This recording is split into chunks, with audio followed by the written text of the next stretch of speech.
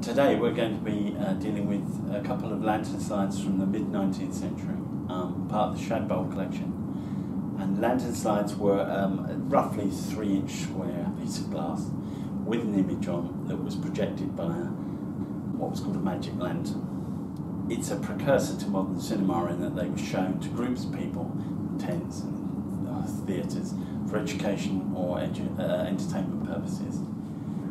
This is one of the images. Normally, we would put them on a flatbed scanner, very high resolution flatbed scanner, and do a transmissive scan. But in this instance, we need to light them from both the front and the back, and that's the purpose of this setup we've developed here. And on this setup, we would put the would lock the mirror up to reduce vibration, which um, because it's a very high res scan, and we want to be able to capture as much the image should appear. There it is. Just goes through a slight colour adjustment, which allows us we we we, we neutralise the image. We get the white balance as accurate as we can.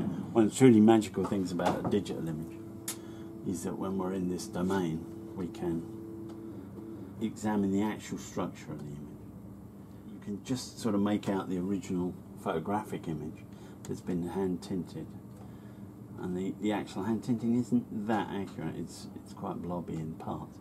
And they have used, if I can find it, they've used the tone of the hand tinting to put arms on the man in the balloon because it's actually disappeared on the original. Previously, we wouldn't have really seen that.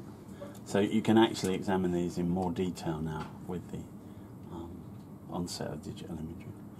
Now, if I pull up the other image, you can see why we use the technique we've used because we can now actually translate his writing, which is extremely small on the original. But you can see what he's actually saying there. 1900 feet, I think that is. From 1900 feet, yeah. Obviously a balloon.